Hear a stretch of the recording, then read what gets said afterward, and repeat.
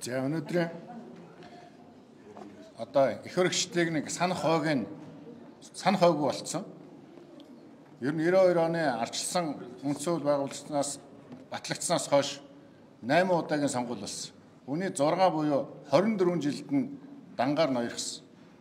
За бүр сүүлийн одоо 16 оноос хойш бол 65-ын бүлэгтээ 62-ын бүлэгтээ ерөнхийлөгчийн засаглалтай Монголын төрийг 100-ны 100% барьж байгаа.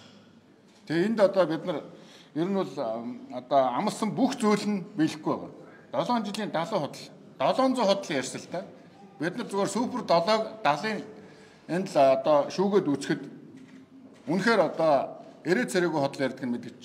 Жишээлбэл зээлийн хөв бууруулж сарын 1 хувьтай хэтрүүлэх. 1 хувийн хүүтэй зээл авч байгаа бизнес байна уу? Огт байх. Огт байх. Өнөөдөр Монгол улс эргээд социализмд орох гэж байна. Ер нь зах зээл арчилсан энэ нээлттэй нийгэмд бол ховын хөвшлэл авч явдаг. Нэг үе Монгол улсын дотоодын нийт бүтээгдэхүүний 70%-ыг ховын хөвшил бүрдүүлж бизнесийн орлого нэмэгдэжсэн ийм онжлууд байдаг. Тэгвэл өнөөдөр 70 80 90%-ийн төрийн өмчт компаниуд үйлдвэрлэдэг. Нөгөө бизнес рүү гар хөлн төрийн гар хөл орцсон.